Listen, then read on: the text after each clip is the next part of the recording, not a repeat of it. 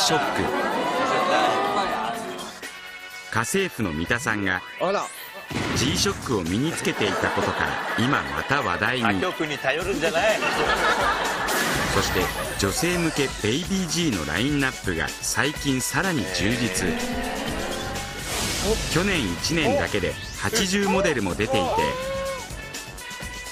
可愛くなったデザインが大受け売れまくっているというのだなんだ。そんな G ショックは1983年に誕生。ああ集めましたよ。集めたね。これまで29年間で発売されたモデルは実に2000種類以上。ちなみにその中で一番値段が高かったのがこちらのミスター G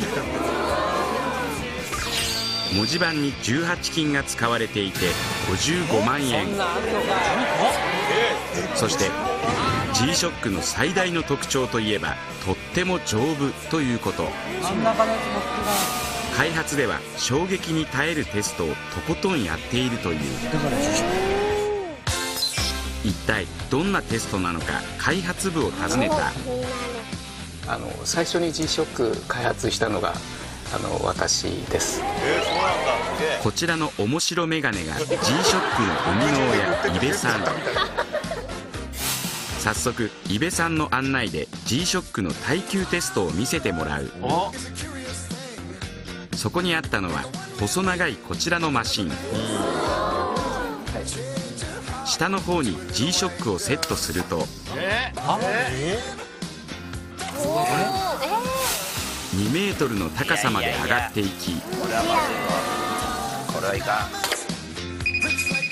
強力なバネで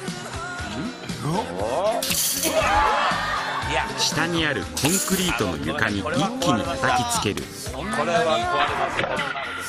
この番組はライオンとご覧のスポンサーの提供でお送りします。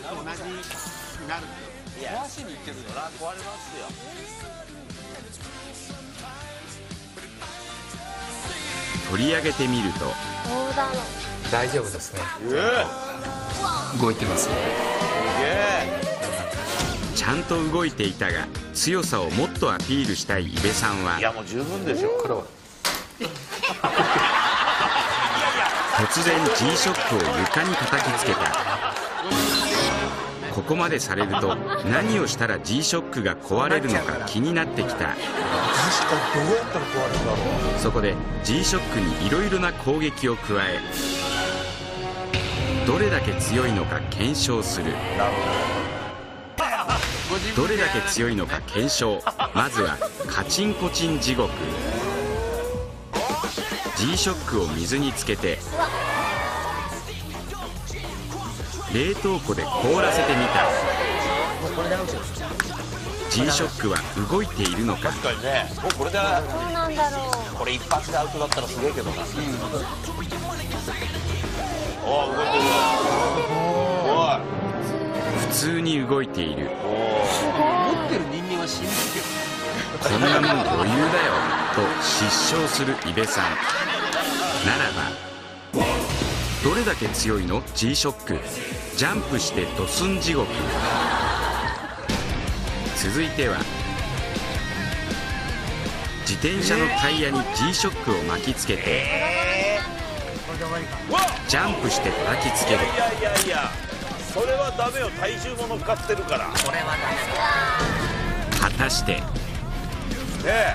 割れるだろ。割れた。まあ割れるよそんなもん。大丈夫ですね。元気に動いてます。これぐらい脆いのかっこいいなすげえな。ック汚れているが普通に動いている。元気に動いてる。な見くびるなよと余裕の表情の伊部さん。もうこうなったら本気を出そう。いやもう十分本気出してるどれだけ強いの？G ショック。ぺっちゃんこ地獄。次はこのローラー車で踏んでやる。いやいやいや道路舗装に使われるローラー車でうわなんと重さは15トン。伊部さんに自信のほどを聞いてみると。いやーちょっと無理ですねこれは。でもあのやめていただきたいですね。壊れるからさっきまでの余裕はなくなりやめてほしいと懇願する伊部さん。そうかしょうがないやめようと思って振り返ったその時。なんとローラー車が動き出してしまった。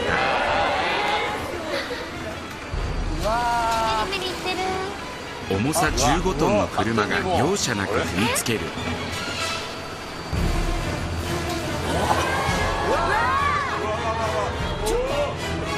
果たして。大丈夫です強いですねやはりあー安心しました。動いてます。すげえな。ええ大丈夫でした。なんとガラスも割れずに見事に動いている。おお動いてるわ。踏まれても大丈夫。その強さの秘密は何なのか。今回特別に工場に潜入できた。見てみたいなこれはさぞかし凄技マシンで作っているのかと思いきや我々の前に現れたのはなんと手作業で G ショックを組み立てる人たち。名付けて G レンジャー。そうあの G ショックはマシンではなく人の手で組み立てていたのだ。ちなみに色は全員ブルー。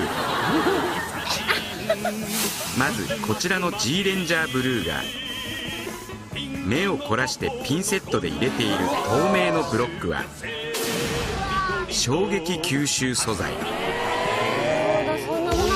このブロック特殊なシリコンでできていて細かい機械の周りにつけることで衝撃を吸収してくれるという。ちなみに G レンジャーが指にはめている黒いものは静電気防止ゴム電子部品は静電気で壊れてしまうので指一本一本にゴムをはめる。一方こちらの G レンジャーブルーが取り付けているのは文字盤を固定するためのピン。衝撃で折れないよう硬い金属のピンを小さな穴にはめていく G ショックにはいろんなモデルがあって取り付ける位置が微妙に違うのでマシンではなく手作業で行っているという。こちらの工場で1日に作る G ショックの数は実に約3000個。ローラーに踏まれてもびくともしない G ショックはこんな細かい手作業で地道に作られていたのだ。